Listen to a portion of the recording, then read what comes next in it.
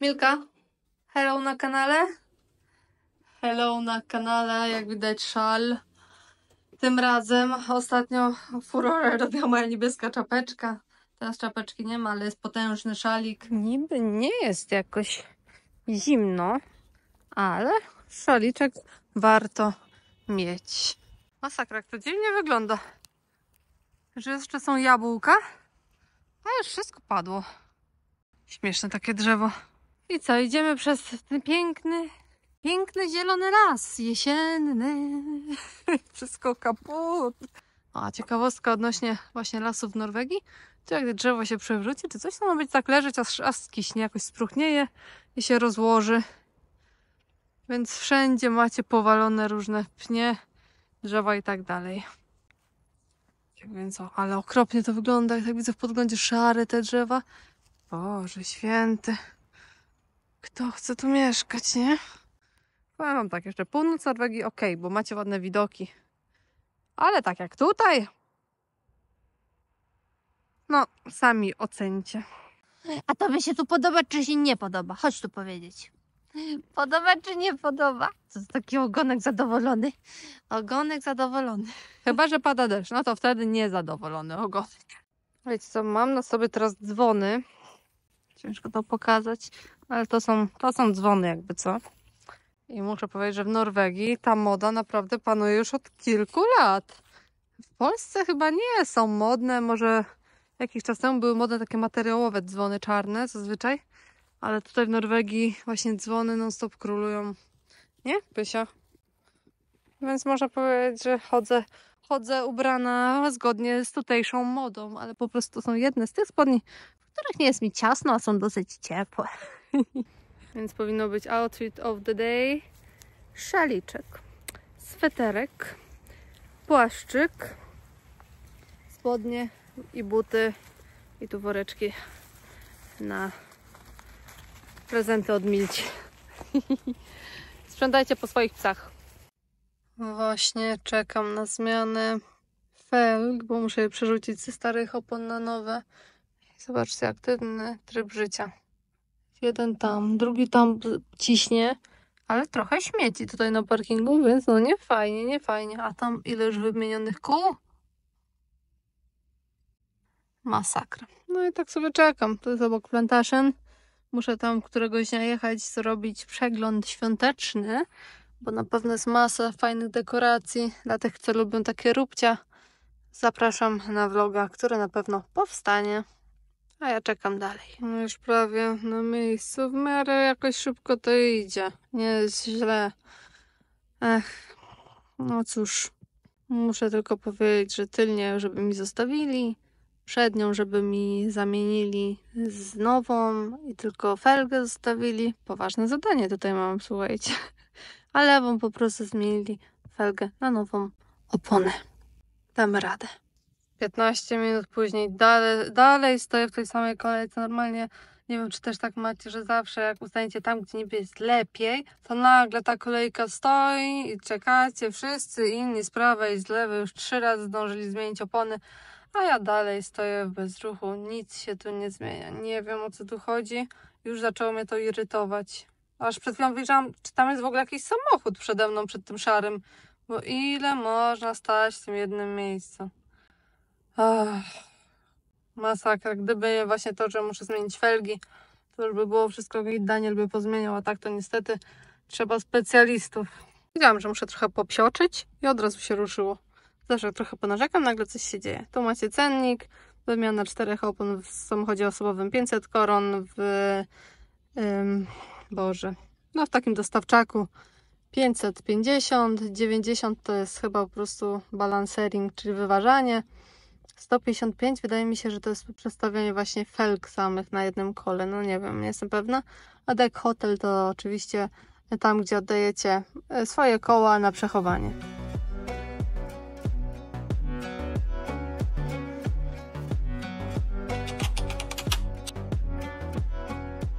Nie, no czy, czy wy to uwierzycie, co tu się dzieje? Przyszłam sobie sprawdzić powietrze i nie wiem, wentyl mi chyba ten pękł. W ogóle nie wiem, co to się wydarzyło. Już jakby wyszło połowa tego, więc Ja się wykończę i Daniel też z tymi moimi oponami, bo już tyle razy on się zamieniał na moje opony, to już dawno nie musiał tylu zmieniać. Ech, a dopiero zdążyłam zmienić na zimów. Sytuacja z kołem rozwiązana. Musieli mi wstawić taki jakiś czarny wentyl, po prostu uniwersalny. A nie jak miałam, bo tamten się wygiął, już był taki zajechany, że przez ten powietrze zeszło, a nie, że jakąś dziurę miałam w kole.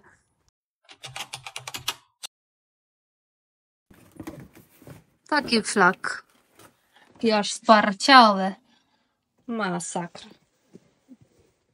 Nie, parciałe, tylko ten rowek ty zrobiłaś, jak jechałaś na flaku. Mhm. No musiałam do domu dojechać. Dobrze, że felka się zachowała, bo byłby wydatek. No i wróciły letnie koła. Nissan mnie wykończy. Ale przez to, że jak mi zeszło i kawałek pojechałam, to i tak stara opona się zniszczyła, więc ważne, że już jest ok. Ajajaj, same problemy z samochodami. Nie miał człowiek problemów, kupił sobie auto. Ostatnio byliśmy na mieście, od razu mały update paznokciowy, błyszczące czarnym, mhm, Andrzejkowo. No, ale wracając do tematu, byliśmy w takiej indyjskiej knajpce, jedzenie naprawdę pyszne. Przy okazji zobaczyłam, że już jest jarmark bożonarodzeniowy. Aż się zdziwiłam, że tak szybko. W tamtym roku myślałam, że był na początku grudnia, a tutaj jest połowa listopada, nawet nie, bo jest dziewiąty, a tu już zima pełni świąteczne ozdoby. Ale lubię takie klimaty, więc spoko. Jeszcze akurat załapałam się na taki sklepik świąteczny w galerii Steen and Stream, to troszeczkę Wam pokażę, co tam się działo.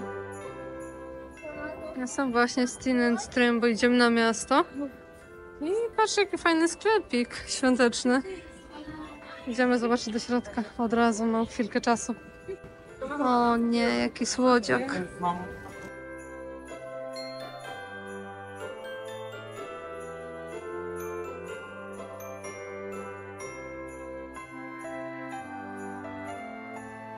Jakie ceny tych bombek? Zaraz wam powiem. Na przykład ten 250 koron. No trochę kosztują. Ale jak chcecie mieć jakąś wyjątkową bombeczkę, na przykład takiego słodkiego pingwinka, to trzeba zainwestować.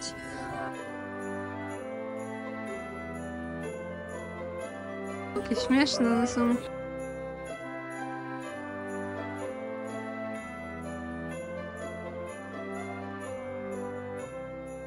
Rakiecka ładna. 5000 koron, no 2300 zł. Jeśli ktoś ma chęć, proszę bardzo. Taka serduszka też cute. O, albo taka truskaweczka, no piękna. Zaraz zbiję bombę za 250 koron out. Daleko ode mnie. O, takie cukierkowe. O, ale fajniutkie i lody takie. Nie no, naprawdę, kiutaśnie. Kiutaśne. Po co ja tu przyszłam? Przypadkowo, powiem wam, naprawdę przypadkowo weszliśmy tutaj. Ale bombeczki są cudowne, aż by się chciało to zjeść. Zobaczcie, piękne. Oh my god, oho, dziadek do orzechów, to co moja mama lubi. Nie, naprawdę fajne bombki takie unikatowe. Misiak. A teraz ciastkami. Masakra.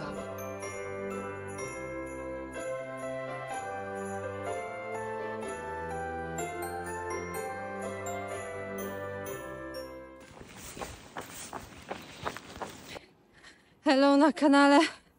Jaka modlisia, co? Uff.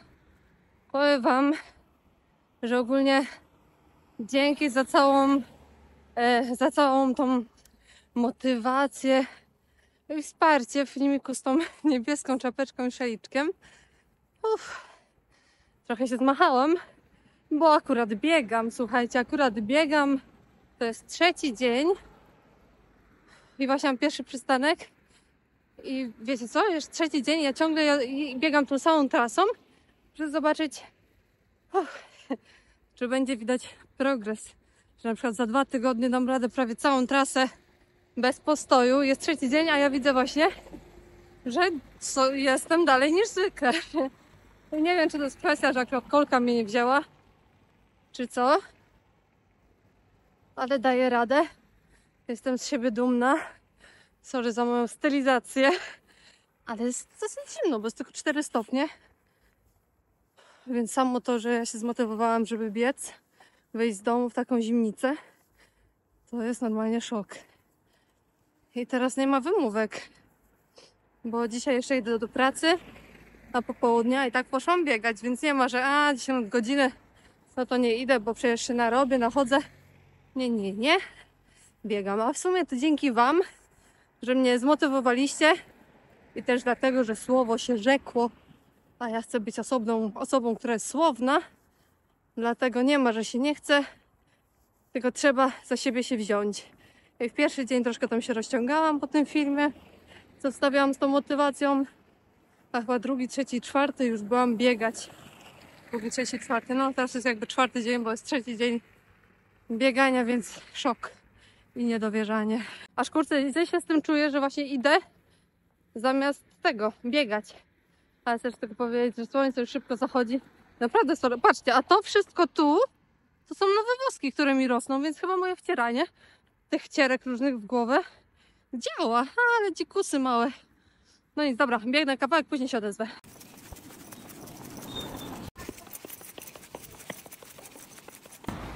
Już jestem na powrocie praktycznie. Nie jest lekko, ale kurczę, nie wiem, ja chyba sobie wmawiam, ale trzeci dzień mi się wydaje, że naprawdę dużo lepiej mi idzie, ale wątpię, żeby w tak krótkim czasie było czuć jakiś większy przeskok. Kolka mnie wzięła połowę trasy, ale tak staram się napinać brzuch jak biegnę, bo wtedy wydaje mi się, że troszkę mniej boli. No nic, jest troszkę lepiej. Biegnę dalej. Jeszcze tylko dodam, Boże, naprawdę okropnie wyglądam. Ale to nie jest pokaz mody. Ja tutaj się nie będę stroić na vlogach. Więc jak chcecie oko zawiesić na jakiejś pięknej stylizacji, to tutaj raczej nie znajdziecie. Zwłaszcza kiedy idę biegać. To nie pokaz mody. Uff, chciałam wam tylko już powiedzieć, że właśnie staram się nie skupiać na czasie, ile ta droga mi zajmuje, bo po prostu ja chcę zobaczyć, czy będzie poprawa kondycji i bardziej na tym mi zależy niż jakichś tam rekordach. Cieszę się, że wiecie co, wyszłam z domu i się zmotywowałam, bo naprawdę bardzo mi się nie chciało. Więc jeśli są to osoby, które właśnie też chcą się zmotywować, jakoś im nie idzie, chyba jedynym rozwiązaniem jest ubrać się właśnie na sportowo, buty założyć, wyjść z domu i przebiec nawet, nie wiem, z 200 metrów już chociaż niech będzie. I wtedy jak już wrócili do domu, to ja tak miałam, tak myślałam, kurczę, już raz poszłam i pobiegłam. No to skoro już zaczęłam, no to muszę jutro też iść. Dzisiaj też już poszłam, nawet jeśli mam drugą pracę za, nie wiem, jakieś półtora godziny. No bo już nie chcę tego przerwać. Już czuję, że wpadam w ten cykl i bym była taka zawiedziona, jakbym właśnie nie ruszyła się z domu, tylko właśnie jakaś wymówka. Bo naprawdę jakieś pół godziny dziennie, żeby wyjść, coś pobiegać, to chyba nie jest jakieś jakimś czymś, wiecie, ciężkim do osiągnięcia, żeby wy- wygenerować te pół godziny w ciągu dnia. Zakwasy na nogach mam straszliwe. Myślałam, że nie powinno się by na zakwasach ćwiczyć. No ale nie mogę przerwać mojego cyklu. I to, że są zakwasy, oznacza, że coś tam działa, coś tam pracuje, więc super. Muszę sobie załatwić odblaski, bo coraz szybciej się ściemnia, chociaż ja biegam właśnie jak jest jasno, no ale wiecie, moment będzie ciemno. I tutaj chciałam powiedzieć, że właśnie w Norwegii jest duży nacisk na to, że ludzie noszą odblaski i to nie, że tylko dzieci, bo w szkole jest bardziej popularne, że dzieci w takim wieku właśnie jak z tornistrem do, do szkoły idą, no to mają na przykład odblask do plecaka. Tutaj ludzie zakładają kamizelki, niezależnie od tego, czy mają 50 lat, 30, czy chodzą do szkoły i tak dalej. Oni sami z siebie zakładają właśnie ka- kamizelki odblaskowe, jak idą z psem, czy nawet jak wychodzą wieczorem na taki, wiecie, trekking albo jakiś tam hiking i i właśnie mają też takie, wiecie, te odblaski takie, tak, takie paski, że one same się tak zawijają. I właśnie na nadgarstkach, na nogach, na kostkach je zakładają, bo naprawdę widać z daleka. I wydaje mi się, że w Polsce nie wiem, czy to jest kwestia tego, że a, nie będę chodzić w odblaskach, jak to wygląda. Czy o co chodzi, bo wydaje mi się, że ludzie nie chcą nosić tych odblasków. Stylizacji im zaburza, czy co. Ale naprawdę pamiętajcie o swoje właśnie bezpieczeństwo się martw- martwcie, ale i dla kierowców wiesz, te, to jest też dużo bardziej widoczne, jak z daleka taki odblask się odbija. Postaram się coś nagrać, jak będę wieczorem jechać. Na pewno kogoś na trasie spotkam i sami zobaczycie, jaka jest różnica. A tutaj pani ma na ręce odblask. I tam pan też. No zobaczcie, no to jest taka kultura tutaj.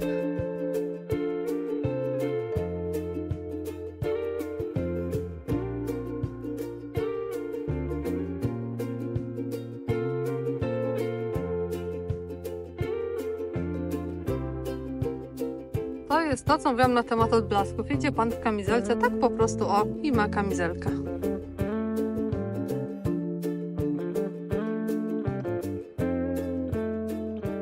Jako ciekawostka tutaj przy drodze możecie zobaczyć, że są wbite tyczki i one zawsze jakoś tak pod koniec października albo w połowie zostają wbite, żeby było widać, gdzie jest droga, jak spadnie śnieg.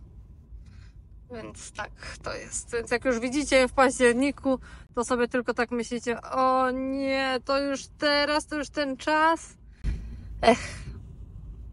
Mając taki odblask, to na pewno widać Was z daleka, dlatego załatwcie sobie odblaski, dbajcie o swoje bezpieczeństwo, o bezpieczeństwo kierowców i tak dalej. Tak sobie biegałam, tak samochody przejeżdżały.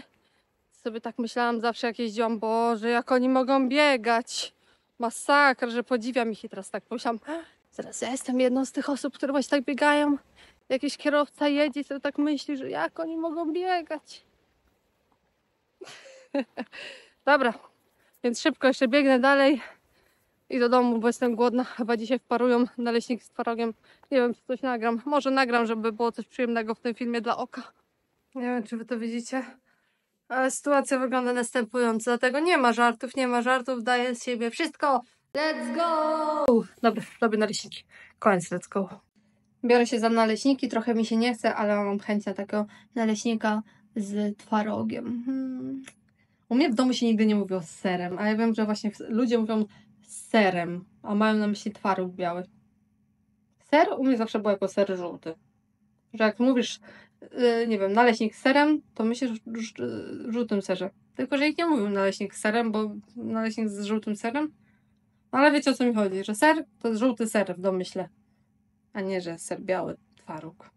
Więc będą naleśniki z twarogiem z Thermomixa. Robimy.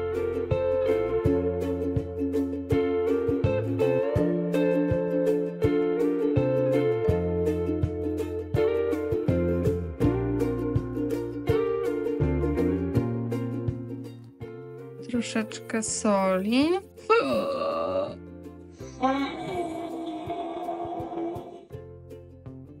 Trudno. Zje się. Nawet nie wyłowię, bo to już gdzieś za- zatonęło. No ładnie. Dam cukru. Dam całą łyżeczkę cukru za to. Łyżeczka cukru. Jeszcze. Już obrudziłam tam normalnie. Ja to jestem masełko. Zakładamy pokrywę i niech się kręci. Let's go! Już mam gotową masę i ona widzicie, ona jest taka fajna. No, nie można narzekać, bez żadnych grudek. A już jeśli jakaś już się znajdzie, to przez to, że na końcu z Thermomixa tak ze ścianek zabrałam. Ten sprzęt, sprzęt z temu to jakiś hit. Jest fajny, bo zabieracie jajeczko i leci. I kolejne. Dużo lepiej niż jak na przykład macie całą wytłaczankę i zabiera dużo miejsca. To jest takie wąskie, ale wysokie. No nie wiem, super to jest. Mogę Wam to polecić. Biorę się za masę serową i trzeba założyć motylek jako pierwszy ruch i rozbić jajko. Dodać 40 gram cukru, łyżeczkę cukru waniliowego. Ja mam cukru waniliowego, to dodam tego troszkę aromatu. A co?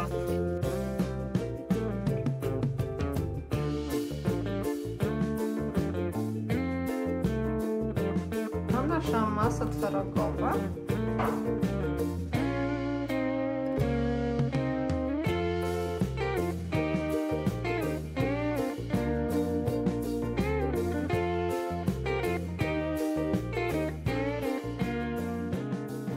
W domu takie już trochę zajechane banany, więc będą w sam raz. Pomyślałam, że położę takie plasterki na naleśnikach, tej masie twarogowej. Zobaczymy, zobaczymy. Takie trochę crazy, ale muszę je wykorzystać, bo zaraz padną. Powiem Wam, że to są najtańsze herbatki, jakie są dostępne, takie coś jakbyście kupili na przykład w firmy Biedronka. To jest Air Grey 20 saszetek kosztuje chyba 7 albo 8 koron, czy jakieś 2,50, 3 złote. Więc chyba tanio. Kurde, no nie wiem, co ja narobiłam. No i ładnie. Tak, a miało być ładnie nagrane, że herbatka się robi, nie? Są to moje piękne filiżanki, czy tam kubki z temu, więc jak jesteście zainteresowani, albo jak Wam się podobają, to zapraszam do filmu Zakupy świąteczne z temu. Patrzcie, jakie piękne podwójne szkło. Nie no, piękne są. Biorę się za naleśniczki. Tam zawsze jest coś takiego, że z jednej strony bardziej przysmażyć, z drugiej mniej. I wtedy jeszcze raz to na patelnię wrzucić, ale tak z każdej strony porówno mniej więcej robię. Zaraz dam najwyżej jeszcze raz. Nigdy nie wiem, ile tego farszu dać, bo nie lubię, jak jest za mało, ale jak jest za dużo, też wypływa z każdej strony. I zobaczymy te bananki. A co?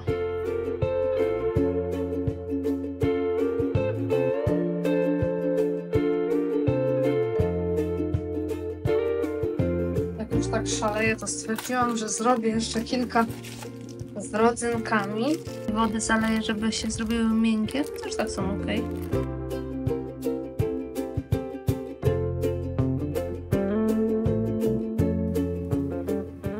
Mhm. Dobre z tymi balonkami. I od razu będzie śniadanko do pracy.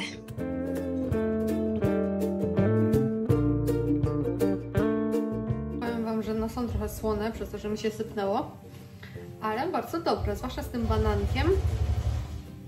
Daję gra w Call of Duty. Zwłaszcza z tym banankiem, a z rodzynkami jeszcze nie smakowałam, ale też na pewno dobre. A czemu? Bo rodzynki są słodkie, więc na pewno będzie pyszne. Polecam Wam naleśniczki. I myślę, że to będzie tyle w tym vlogu, dlatego dzięki za oglądanie, dzięki za tą motywację w filmie z niebieską czapką i szalikiem. Trzymajcie kciuki, wytrwałości mi żyć, życzcie. I co? Do zobaczenia w następnym filmie. Wpadajcie na Instagram i Vlog. I tyle. Pa, pa.